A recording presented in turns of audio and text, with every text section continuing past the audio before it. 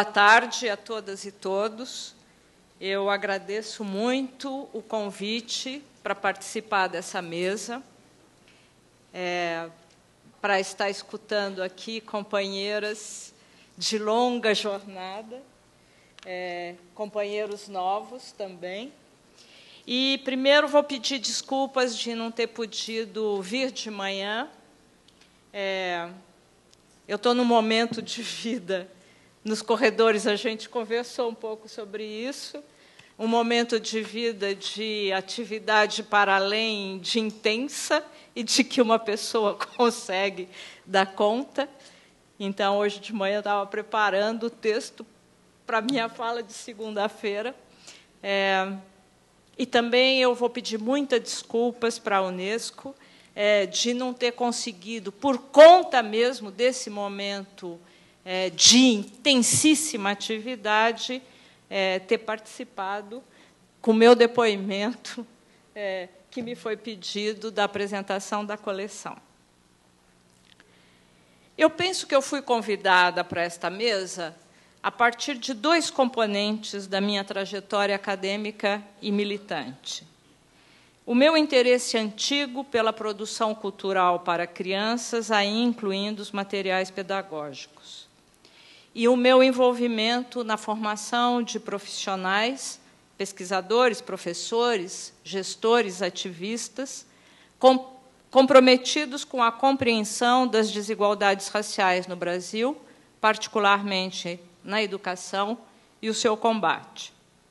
Eu fiquei muito feliz com o convite porque permite eu sair de uma esquizofrenia na qual ando vivendo e ligar essas duas pontas do, do meu interesse. De um lado, a pós-graduação na formação de profissionais, e de outro, a produção de materiais culturais e pedagógicos para criança. É uma sina na minha vida a disjunção profissional desses dois aspectos quando numa instituição eu lido com a pós-graduação, na, naquela instituição não tenho condição de lidar com as questões da infância, dos piquititicos, como eu digo. Eu começarei destacando, Cida, com certeza é um momento de celebração, mas com certeza é um momento de jogar a bola para frente e de levantar as nossas tensões, as nossas contradições e o longo caminho que temos que percorrer. Você sabe que um dos meus apelidos é trator. Né? Então, eu trago essa minha característica de jogar a bola para frente e não de desmatar a Amazônia, mas de tirar os atravancamentos que encontramos no caminho. Então, eu vou começar destacando um dos desafios que eu acho que, nos, que nós enfrentamos na formação de profissionais qualificados para tratar da história da África e da cultura brasileira, ou mais amplamente das relações raciais no contexto das diásporas africanas. Apesar de você ter dito que somos muitos, ou já somos um pouco, eu acho que nós somos poucos profissionais brancos e negros qualificados academicamente e que elegemos este tema como foco de nossa atenção contínua e lealdade acadêmica.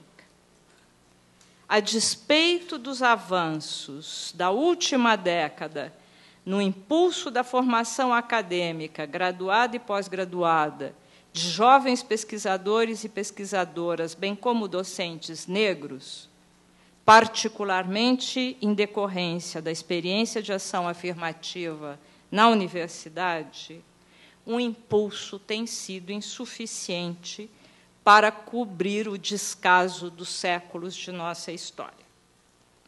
É uma questão que vem me afligindo muito nos últimos anos. Eu estou beirando a aposentadoria nós. Como alguns talvez saibam, o Programa Internacional de Bolsas de Pós-Graduação da Fundação Forte, o IFP, um dos únicos programas de ação afirmativa na pós-graduação no Brasil, a meu conhecimento, só a Universidade Estadual é, da Bahia dispõe de um programa específico de ação afirmativa na pós-graduação. O, o programa IFP, que eu tenho a honra de coordenar, encerrou seu ciclo de seleções após ter outorgado 342 bolsas.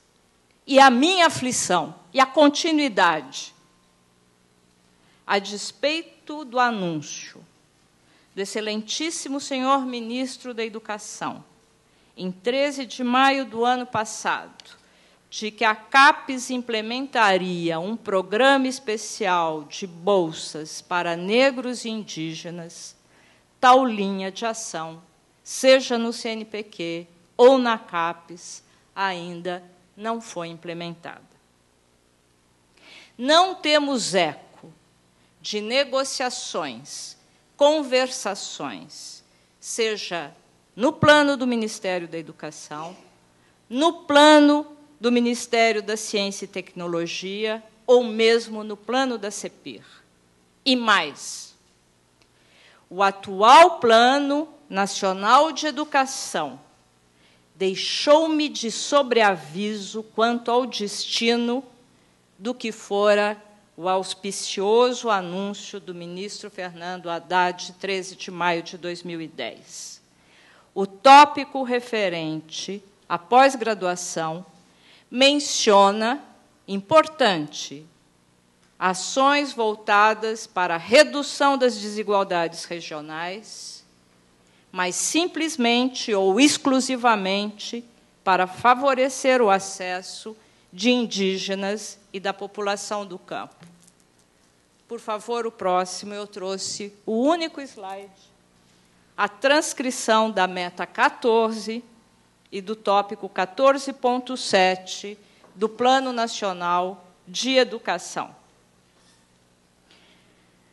Elevar gradualmente o número de matrículas na pós-graduação estrito senso, de modo a atingir a titulação anual de 60 mil mestres e 25 mil doutores.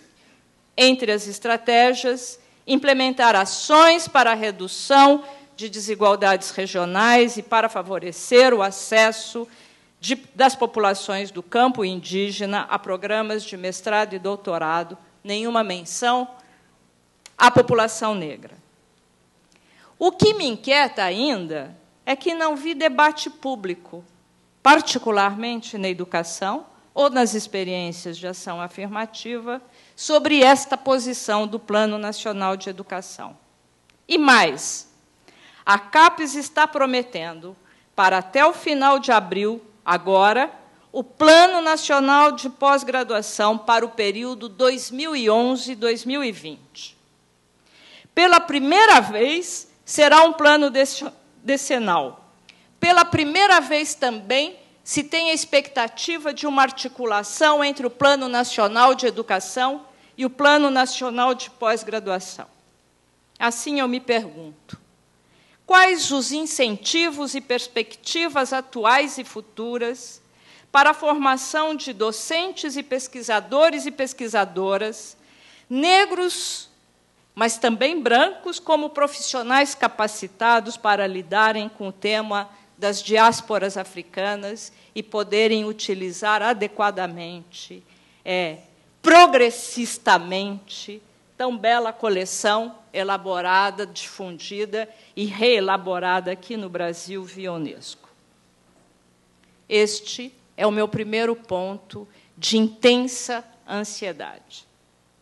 Agora eu vou tomar o outro fio, a produção dos materiais culturais e pedagógicos a partir desta grande inovação que foi a produção destes oito volumes é, de História Geral de África. Não pensem que aqui eu serei menos tratora. Eu começarei por um diagnóstico. Eu considero que temos muito que avançar nesta área para que discursos e práticas libertadoras ou progressistas, no âmbito das relações raciais, também o sejam no âmbito das relações de idade. Esse nosso outro, que são as crianças. As crianças que vão às escolas, que vão cada vez mais às escolas e que vão cada vez mais cedo às escolas. Eu penso que os desafios são imensos, mas que a sua imensidão não pode e não deve nos imobilizar. Ao contrário. Em primeiro lugar, eu penso que nós temos que estabelecer um consenso básico ou mínimo sobre nossas metas e estratégias. O que procuramos? onde queremos chegar e como com as crianças. Por vezes eu tenho a impressão, no Brasil, que confundimos estratégias e metas no que diz respeito ao combate ao racismo estrutural e simbólico no plano educacional. Como os materiais pedagógicos ou a produção cultural para crianças entram em nossas metas e estratégias de combate ao racismo a alteração de conteúdos, a difusão de um conjunto é, de volumes importantíssimos sobre a história geral de África constitui uma meta ou uma estratégia. Como se integram metas e estratégias de combate ao racismo simbólico com a desigualdade no acesso e progressão educacional de qualidade para as crianças negras desde o início de sua vida. Uma outra frente de reflexões diz respeito aos profissionais. De que tipo de profissionais estamos falando? Aqueles que vão produzir textos, imagens, produtos visuais, produtos como livros, brinquedos, vídeos, CDs, músicas, logos, embalagens e assim por diante. Aqueles profissionais que vão organizá-los, divulgá-los, distribuí-los, adotá-los, criticá-los, vendê-los, estudá-los. Há já um bom tempo que eu venho adotando uma concepção expandida de produção de material pedagógico e cultural para crianças. Ou seja, a configuração, em dado momento, de um produto pedagógico ou cultural para crianças envolve um longo circuito de produtores, e não apenas o ilustrador, o escritor, o roteirista, o editor-produtor, o professor. Envolve bibliotecários, envolve críticos, envolve pesquisadores, o ponto crucial para mim, neste momento de minha vida profissional e militante, é que dispomos de muito poucos profissionais negros e brancos formados para atuar neste circuito, a despeito do belíssimo livro da Cida Bento, a partir da viagem, da sua viagem para o Egito, e de alguns maravilhosos, incrivelmente importantes é, escritores de literatura infanto-juvenil brasileira, como quem deveria ter estado aqui de manhã, o Joel Rufino dos Santos. Como criar para crianças negras, indígenas, brancas, de origem asiática, um discurso antirracista relacionado às diásporas africanas nas Américas, no Brasil? Temos poucas respostas, porque nos formamos com raras e fantásticas exceções, e eu me incluo não nas exceções, mas neste nós nos formamos, principalmente na crítica e não na criação.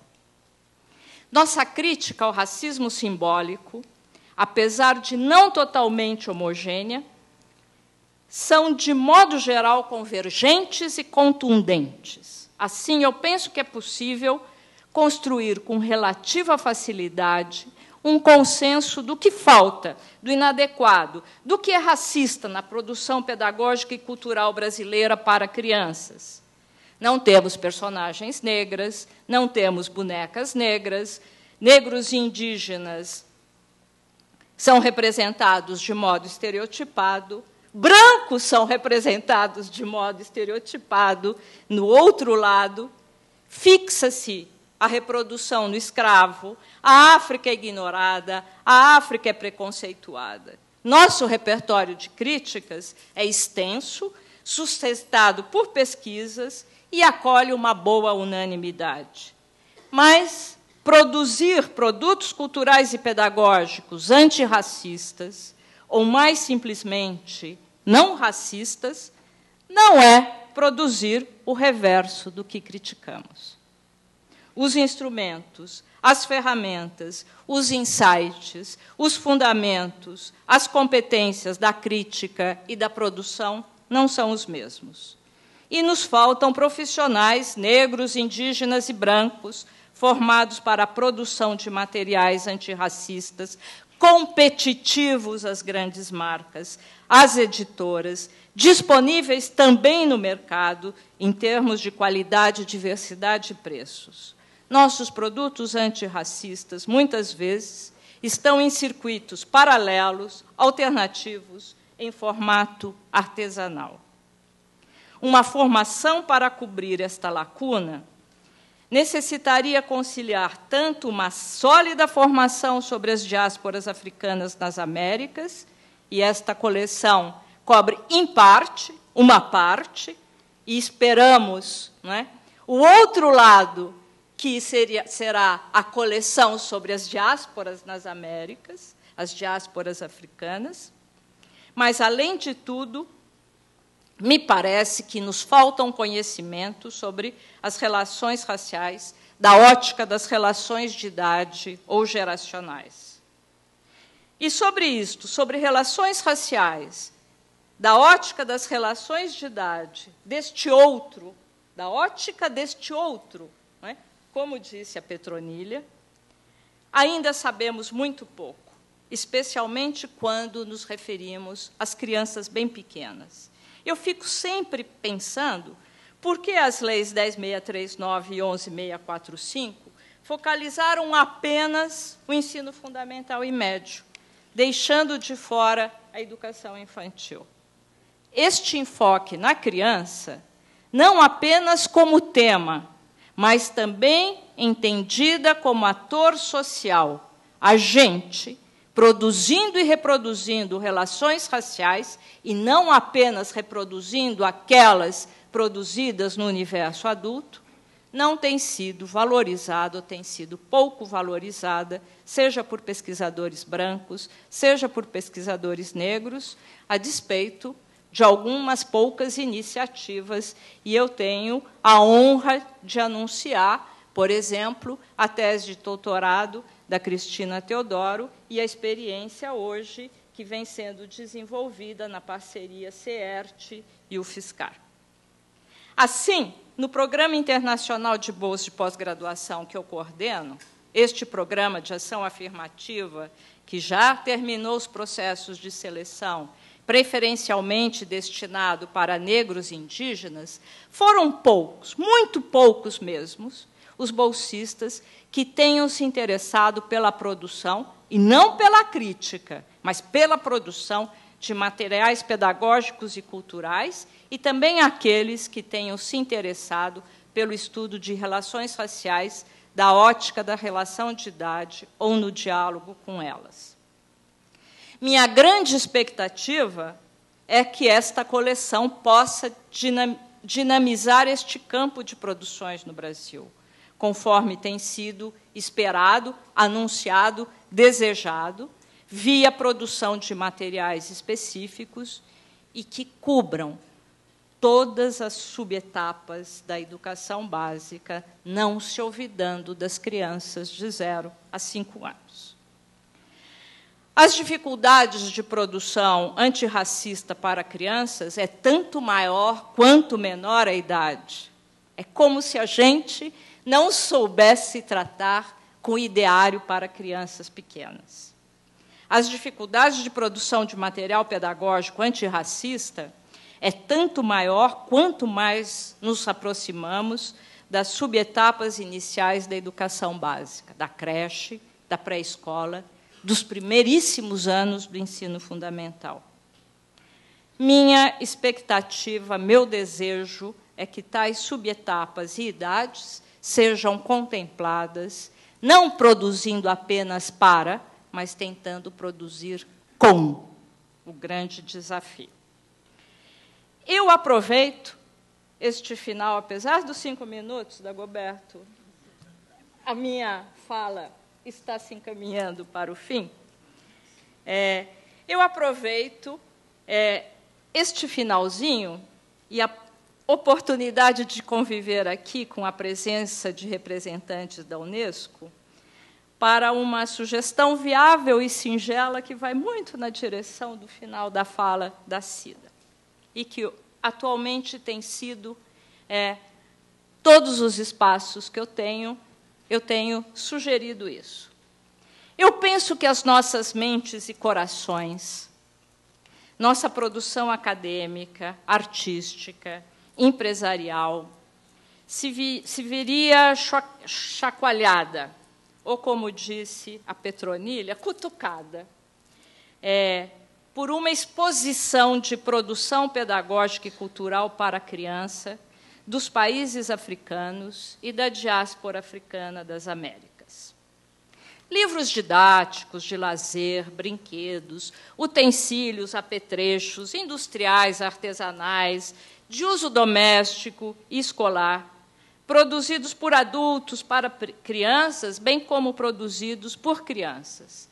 Produtos que nos estimulem a nós, pesquisadores, escritores, ilustradores, editores, empresários, cineastas, professores, que nos abram nossas mentes e corações para o olhar mais do lado do outro, um olhar mais criativo, sem as amarras das nossas limitações. Eu considero que isso talvez queimasse algumas etapas no processo de formação de profissionais para a produção de materiais pedagógicos.